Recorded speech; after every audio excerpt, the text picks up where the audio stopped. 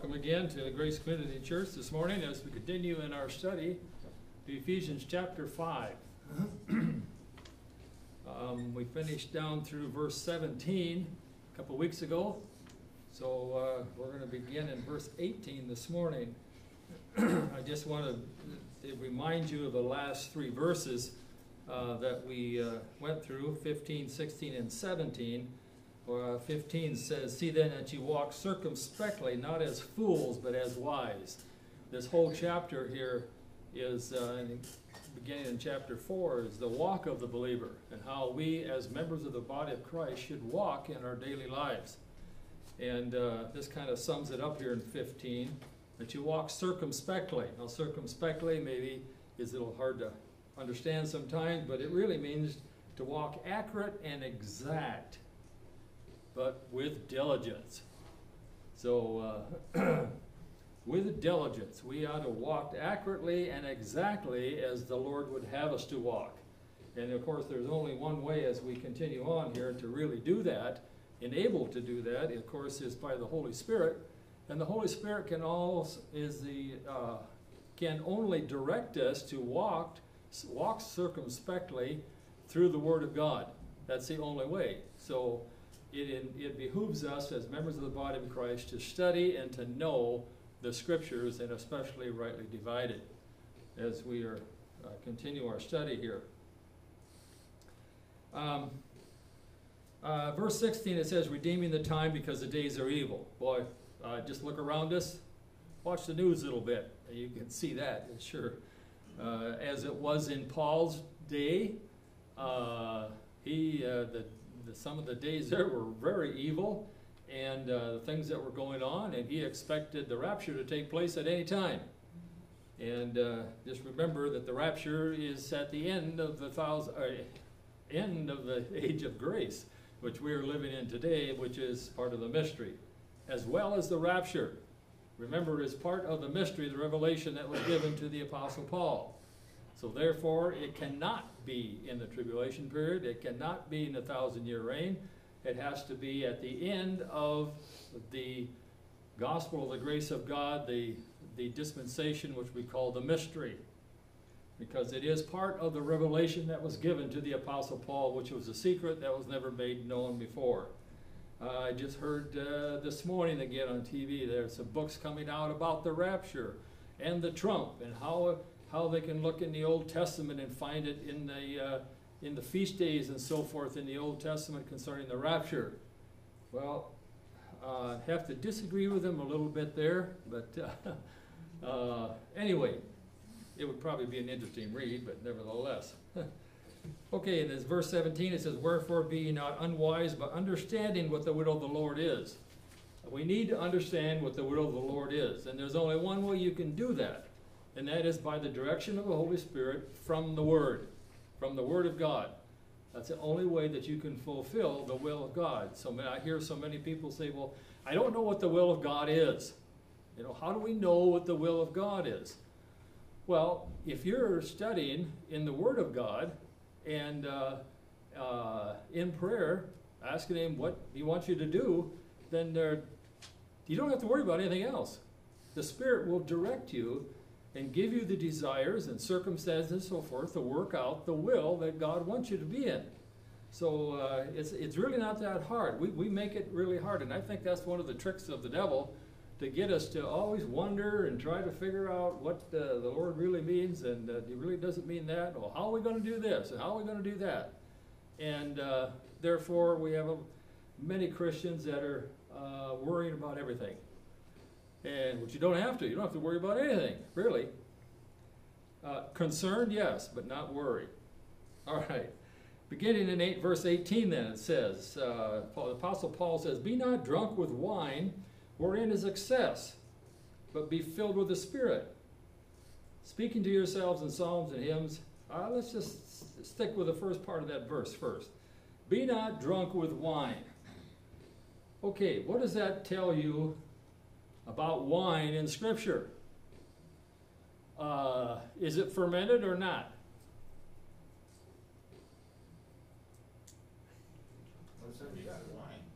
Okay. um, first thing I think of is, well, why, why would it be wine if it's not fermented? It'd be grape juice, right? Well, we're going to look at scripture just a little bit here because this is this is a subject a lot of people are they, they, they don't know exactly what uh, what the scripture really says about it. Can we drink any wine or can we not? Or should we not? That's a good question, isn't it? As a believer?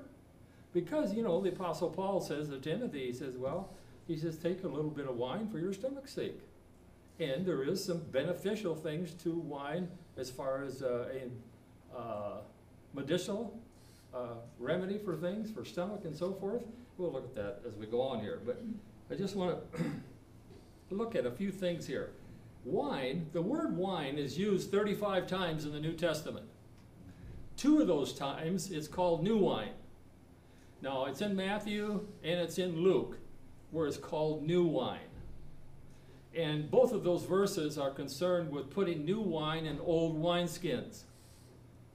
It said, do not put new wine in old wineskins. Well, new wine obviously is not fermented. So new wine really is the, the basis or the beginning of making wine, which would be actually be grape juice.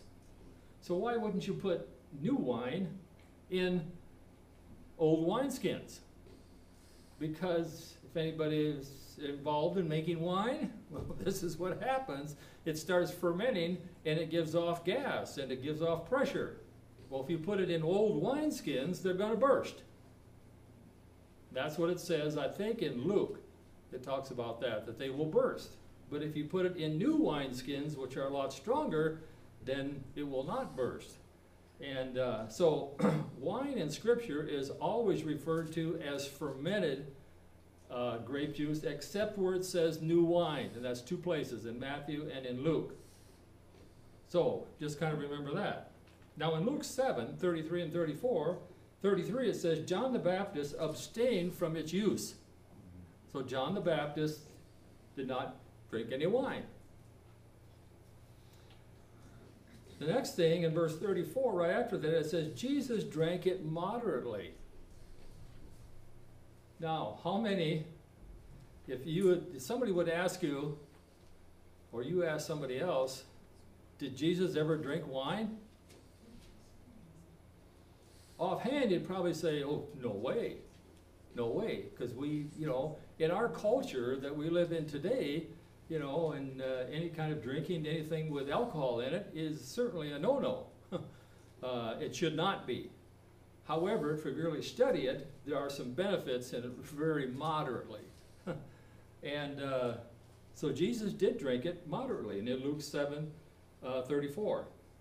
Now we get to Paul's epistles, Paul limits its use. He, he, he never says do not drink wine, but he limits its use. In 1 Timothy 3 8, in concerning deacons, he says, not given too much wine. In other words, that it was a requirement as far as deacons in the church is concerned, is not given too much wine. Obviously, if you're given too much, you're going to be drunk. and uh, he just told us not to be not to be drunk with wine. Uh, but uh, in Titus 2.3, it said the aged, aged women do not drink too much, not given too much. Then in 1 Timothy 5:23, he says to Timothy, use a little wine for thy stomach's sake. Okay, just going that far, as far as wine is concerned, if we as believers someone asks us, well, do you drink wine or not? Well, possibly if you have a stomach ache or in your own home and if you if it makes you feel better, not to the point of being drunk, of course. uh, but you know, uh, scripturally, it's it's okay. However, in our culture today, in drinking wine uh, in public or whatever the case may be, what is it always associated with? I mean, generally speaking, you ask any Christian, uh, what's it always associated with in our culture? Drunkenness? Or, you know, wine controlling you? And that's what these verses are talking about. Uh, maybe uh, bar life or whatever the case may be, it's in some way it's always associated with some type of a of of a sin. You know, uh, causes causes man to do things that he normally would not do, because the wine is controlling his thoughts and his actions. And that is exactly what Paul means here when he says, Be not drunk with wine wherein is excess, but be filled with the Spirit. The opposite of being filled with wine is being filled with the Spirit. And when you're filled with the Spirit, who controls you? Well, it's the Holy Spirit through the Word. Controls your actions, your thoughts, and so forth. And it, that's what causes us to lead a life that is pleasing to the Lord and to fulfill His will.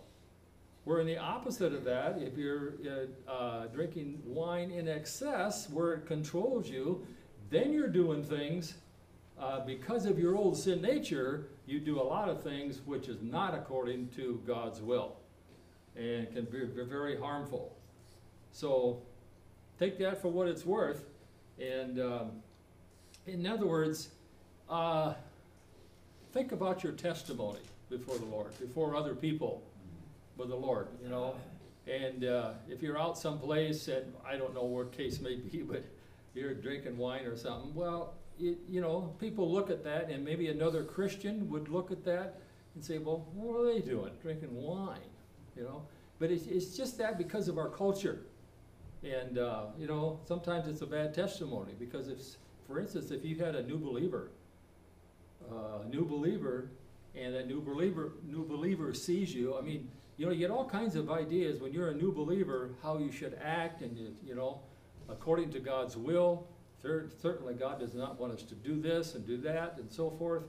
And uh, so it's, uh, uh, it involves your testimony. We want to do everything that is pleasing to the Lord as far as our testimony is concerned so others can come to a saving knowledge of the Lord Jesus Christ and also to live a life that is pleasing to Him.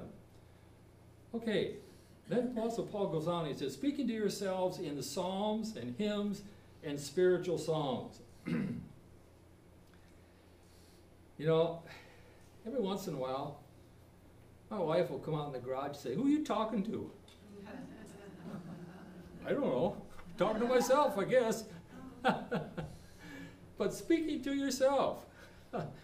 Uh, and there's nothing wrong with that, as long as you is you're thinking about the right things as you're speaking. Speaking to yourself in psalms and hymns and spiritual songs.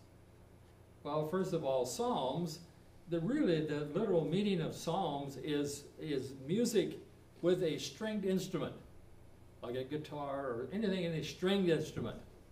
Uh, you think of the Psalms of David, and David, you know, playing on his harp. Uh, those is his psalms, and it says hymns, and hymns it's very close to being a psalms, except not necessarily with a stringed instrument, but it's, uh, it's more of, a, of praises to the Lord. Singing praises to the Lord, that's involved in hymns. And of course, spiritual songs, the psalms and hymns are spiritual songs, all types of spiritual songs. And that doesn't mean just singing any old song. It means a song that are spiritual, that has the Word of God in them. That's what he's talking about singing and making melody in your heart to the Lord. Okay, singing and making melody in your heart to the Lord. So when you're out, whatever you're doing, you're by yourself and you just got to, you know, sometimes after church or whatever the case may be, sometimes I'll, I'll doing something this song, this hymn or something will go through my mind all the time and all the time. But that, what does that do? It really helps you to be in fellowship with the Lord. And you're not, which, which takes place of what the old sin nature in your body might be causing you to do. so uh, it's, it's very important. It's, it's good to do that. I remember, oh, let's see, years and years and years ago when I was in the service. I was in uh, boot camp, and of course I got picked to do KP. For those of you who've been in the service, you know what KP is. Time for you to clean the pots and pans. And it just so happened to be that day we had macaroni and cheese. Now, in the service, you know, macaroni and cheese are made in these great big pans, and it always baked under the side of the pan, you can't get it off. And there's two of us at this huge, big wash tub, and we were washing these pots and pans, trying to get the macaroni and cheese out. Well, I didn't want to be there in the first place, but I thought, well, you know, the only, only way to really enjoy this is just start singing some hymns or some songs. So I did. I was standing there, you know, and I was singing hymns and songs, and this guy next to me, he says, What are you doing? What are you saying? I said, I'm just singing hymns and songs. He just shook his head and went, went on working. But, you know, it's just, there, there's times when you're doing things maybe you don't like to do. Well, just think about a, a song or a hymn or something and just start singing it to yourself or singing it out loud. It doesn't make any difference, but it really helps as far as your, your own fellowship with the Lord. Now, in doing this, it says, giving thanks always for all things unto God and the Father in the name of our Lord Jesus Christ. Okay, giving thanks always, and that's something we always need to do, is giving thanks to the Lord. He has done so much for us that there's no reason why we can't thank Him in just about everything that we pray for. Uh, not only in our prayers, but just in our daily lives. Just think of what he's, he's done for us and give Him thanks for everything. I mean, you can just look at creation, man. Give him thanks for the creation. There's, there's so many things that you can uh, thank him for. But notice it says, For all things unto God and the Father in the name of our Lord Jesus Christ. So, yeah, our fellowship with God, God the Father, is always through the Lord Jesus Christ. Our salvation is through the Lord Jesus Christ. Our, our uh, total commitment to God uh, our living for God is always through the Lord Jesus Christ. You know, in 1 Timothy it says, um, one mediator between God and man, the man Christ Jesus. There's only one way to God the Father, and that is through the Lord Jesus Christ. Uh, and there's so many Christians today that are that believe in God, and there's all kinds of different things that they think they can do to gain salvation and completely forget about the Lord Jesus Christ. Or if they do think about him, well, he was, he was a great prophet, but I got to pray directly to God. Well, you can't do that. The only way you can do that is through the Lord Jesus Christ. So just remember, our Christian living is always through the Lord Jesus Christ. Okay, verse 21. Submitting yourselves to one another in the fear of God. All right, and he goes on, is talking about the wives and the husbands, but even that phrase right there, submitting yourselves one to another in the fear of God. Uh, in the fear of God is, you might say, in the reverence of God. That's what reverence really is, has the idea of fear in it. But it's uh, not that we're scared or anything. I mean, in a sense, we might think about it that way, but it's, it's reverence toward, toward God. So, submitting yourselves one to another, we need to do that as a body of Christ. You know, many times well, I don't like what that person does. I don't like what that person said. And we let all this stuff bother us, and that is a trick of Satan to get you thinking about what's wrong with other people. You know, how come they're doing this? How come they're doing that? But it's it's submitting one to another. That doesn't mean that you submit to whatever they want to do if it's wrong. No. But as as believers, as Christians, a lot of times if uh, you know, it's just the, the, uh, the mindset that we need to have towards one to another. That sometimes we need to submit to other Christians. It just depends on what the situation is. And uh, so then he goes on and he says, Wives, submit yourselves unto your own husbands. Well, the husbands love this here. They just love that, yeah. So, wives, submit yourselves unto your own husbands. In other words, what I say, that's what you're going to do. And if you don't, you're going to suffer the consequences. I mean, that's, that's generally what the, the world says, or they look at. But notice it says, Wives, submit yourselves unto your own husbands as unto the Lord. Well, how does a wife submit to her husband as unto the Lord? Well, as a member of the body of Christ, by the way, you know, Paul is writing to believers here. He never writes to an unbeliever. This would be way out of out of the ballpark as far as writing to an unbeliever.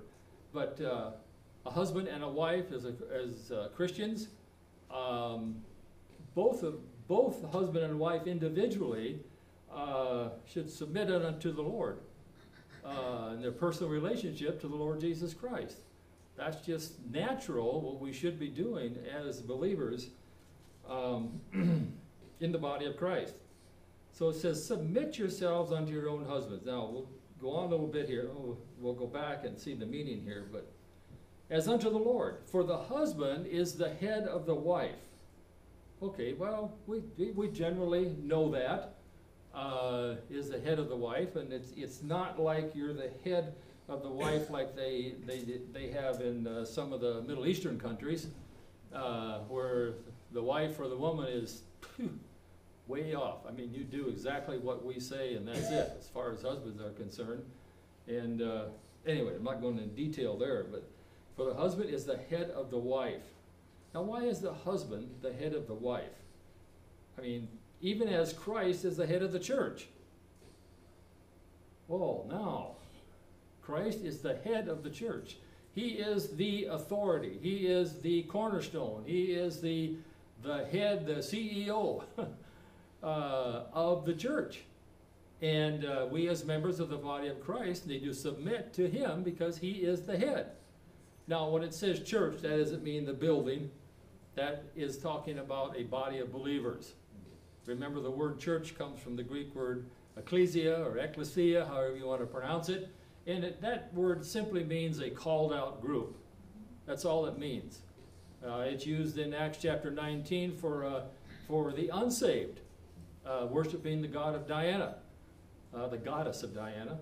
And, and that called out group is also called an assembly.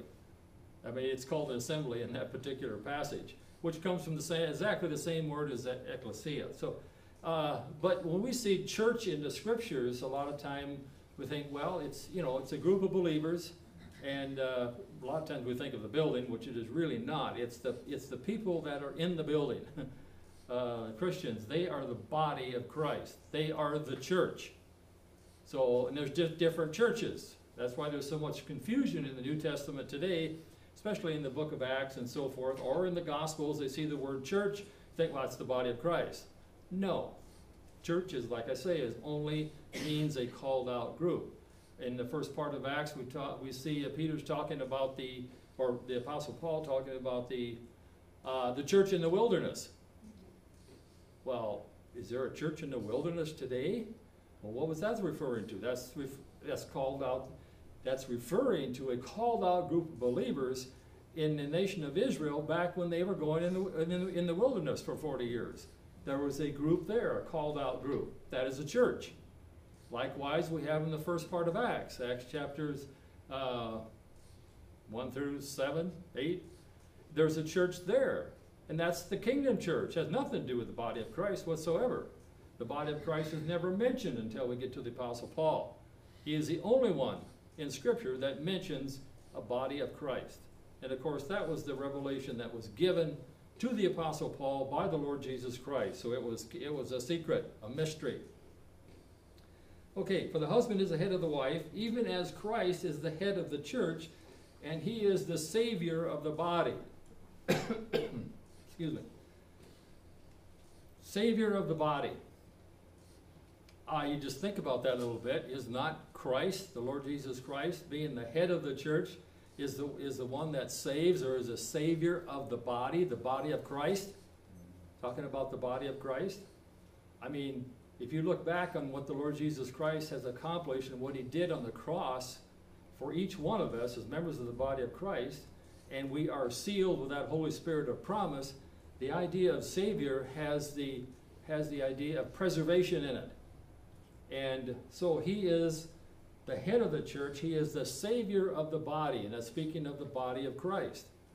Now, you can you can think about that. For the husband is the wife is the head of the wife, even as Christ is the head of the church. The husband is also the savior of the wife. Let's go on. Let the woman learn in oh this is this is First Timothy. I just had to throw this in here. Let the women learn in silence with all subjection, but I suffer not a woman to teach, nor to usurp authority over the man, but to be in silence. Why? He, he gives the reason here. He says, For Adam was first formed, then Eve. And Adam was not deceived, but the woman being deceived was in the transgression. Now, this is the real basics, basic of the truth of man being the head over the woman. Is because man was created first. Two reasons. Man was created first, the woman second. But man was not deceived. Adam was not deceived, but the woman was being deceived. Was being deceived and was in transgression. So that's kind of the real basic of where Paul is coming from as far as the husband being the head of the wife. Okay, in Colossians 1:18, it says that the Lord Jesus Christ, he is the head of the body, the church. Okay? Here's the body of Christ. The church, the called out group of believers, which is called the body of Christ. The, the church, who is the beginning, the firstborn from the dead, that in all things he might have preeminence. In uh, Colossians 1.24, it says, Who now rejoice in my sufferings for you, I fill up that which is behind of the afflictions of Christ in my flesh for his body's sake, which is the church. The body of Christ is the church. All right. Then there's there's other uh, references you see at the bottom of the screen there. Christ is the head of the church.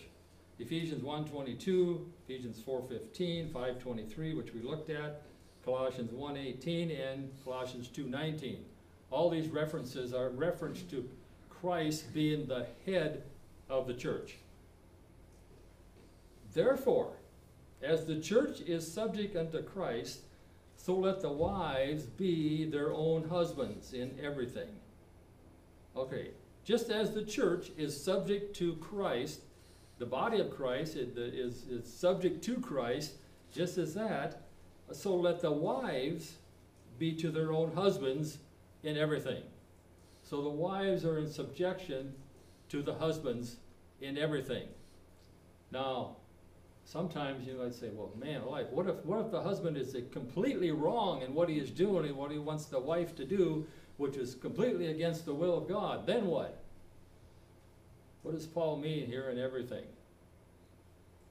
Is the ideal situation of husband and wife as a believer having fellowship with God. You know, if, if it comes between, and there's a, a I forget exactly where, but there's a passage in, uh, I think it's Acts 16, maybe, um, where uh, in order to follow the law like it should be, or whatever the case may, may be, if, if somebody in authority wants you to do something that is contrary to the scriptures, then you have an obligation to go by the scriptures, to stand up for what God says. But in everything else, no, you're under authority of those that are that are above you. So it says, so let the wives be to their own husbands in everything. Now there's a key to that uh, that's not really mentioned. It is mentioned here, but it doesn't come really really come out. But there's a difference between a, between a man and a woman. Now, whether you know that or not. I mean, if you look, watch TV today, they're, take your pick, whatever you want to be. But there is a difference. and uh, there's a difference not only in their physical uh, being, but also in their, their mind, in their emotions, and so forth. Uh, a woman is a responder. Okay? Where a man isn't so much. A man is, you know, you're driving down the road and uh, the wife says, Well, you're going in the wrong direction. Do you need a map or something? I'll tell you where. No, no. I know exactly where I'm going. Just, I can figure it out. so, but a woman is a responder. And if the husband as you see here, it says, Husband, love your wives, even as Christ also loved the church. Now, you just think about that for a minute. That's a tall order, is it not? Husband, love your wives, even as Christ also loved the church. Well, how did, how did Christ love the church? He gave himself for it. Notice the last phrase there.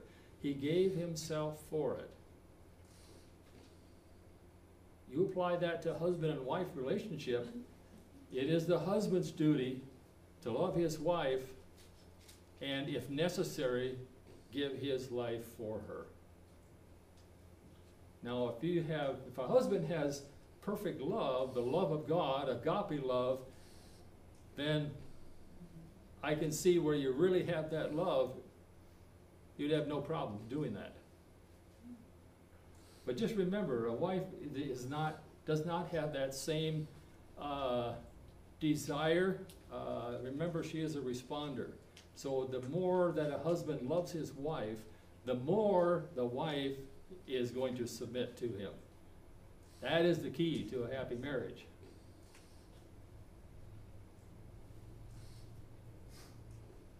Um, let's go on a couple more verses here. So that he might sanctify and cleanse it, that's the church, having it with the washing of water by the word. All right? That he, the Lord Jesus Christ, might sanctify and cleanse. By the way, in the Greek, it's having cleansed. It's in the aorist tense, if you to look it up in the Greek, which means it happened at a point of time and the action is continuing. So, it happened in the past that he might sanctify and cleanse. Sanctify comes after the cleansing. Well, what is the cleansing? What happened with the cleansing? It was when the Lord Jesus Christ was crucified on the cross of Calvary for each one of us, for the body of Christ, uh, giving himself for it. And then the, the response to that, or the, the, uh, the next thing that takes place, is sanctification is the sanctification. In other words, the body of Christ, as well as individuals in the body, are set apart. That's what sanctify means. It means to set apart, set apart from the world, and it's for the Lord Jesus Christ, for His own, in His body. It says, with the washing of water by the word. Now, the washing of water is a, is a figure that is used uh, by the writer here, the Apostle Paul, and it's uh, to establish the fact that the Word of God is the cleansing agent that cleanses our lives. Or, if it's cleansing each one of us as members of the body of Christ, it is cleansing the body of Christ. That's what he's referring to. That he might present it to himself a glorious church. We sang that in the song this morning. A glorious church and really, what it means there is exceedingly glorious church. It isn't just glorious, exceedingly glorious church. Not having spot or wrinkle or any such thing. In other words, that the body of Christ might be pure and clean as possible, and it only can be accomplished by the cleansing of the Word of God to each individual and to the body of Christ as a whole, not having spot or wrinkle or any such thing. In other words, think of a pure white garment that you're wearing, not a spot on it, and not a wrinkle. The Word of God is very good at ironing out wrinkles and getting out spots or any such thing, but that it should be holy and without blemish. That it should be holy and without blemish. That's speak, he's speaking about the church right there, holy and without blemish. And that is really the way we are as our position in the Lord Jesus Christ. We are holy and without blemish, all because of what the Lord Jesus Christ did on the cross of Calvary. And we learned this in the first part of Ephesians, Ephesians chapter 1 and 2 and 3. Uh, holy and without blemish. So he goes on, so ought men to love their wives as their own bodies. He that loveth his wife loveth himself.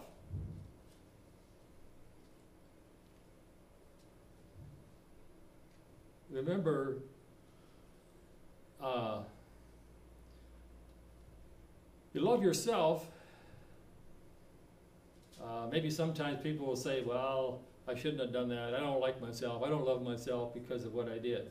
But uh, really, you get down to brass tacks, a person does love his own body. And remember, as two come together and become one and in, in marriage, uh, you are one. Husband and wife are as one. So if you love yourself, you automatically love your wife, and vice versa. There's a real good description of love, which we have in, um, wow, our time's about gone here. In uh, chapter 13 of 1 Corinthians, it says, Love suffereth long and is kind. It envieth not. It vaunteth not itself, vaunteth not itself, is not puffed up, doth not behave itself unseemly. This is all talking about love now. If you have the love of God in your heart, this is the definition of it. Seeketh not her own. Or do not behave itself unseemly, seeketh not her own. Is not easily provoked. Thinketh no evil. Rejoiceth not in iniquity, but rejoiceth in the truth. Beareth all things, believe all things, hopeth all things, endure all things. That is the mindset that we as husbands need to have, of course the wives also, but uh, in talking about the relationship between the husband and wife, if the husband really has this type of love, then there's no problem. Your, the wife will be uh, responding and submitting to you, and you will be as one. The most important of all these, it says, no, at the last verse of 1 Corinthians 13 13, it says, Now abideth faith, hope, charity, or love. These three, but the greatest of these is love or charity. For no man ever hateth his own flesh, but nourisheth and cherisheth it, even as the Lord the church, for we are members of his body. I put of his flesh and of his bones, you put that in if you want to, but it, uh, for this cause shall a man leave his father and mother, and shall be joined unto his wife, and they two shall be one flesh. Then he goes on at the very end and he says, This is a great mystery, but I speak concerning Christ and the church. So he's speaking of Christ and the church, but he's relating to it as an analogy the way the husband and wife and their relationship should be the same. Nevertheless, let every one of you in particular so love his wife, even as himself, and the wife see that she reverence her husband.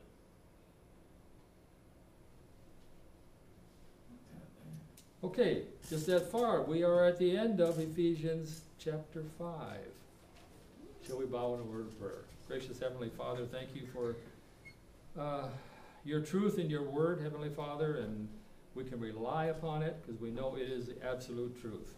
Thank you, Heavenly Father, for giving us your word and the truths that are in it, especially concerning the Lord Jesus Christ and what he's done for us. Thank you, Heavenly Father, for uh, each one that is here this morning. Um, be with them, guide them until we meet again. This we ask in your precious name. Amen.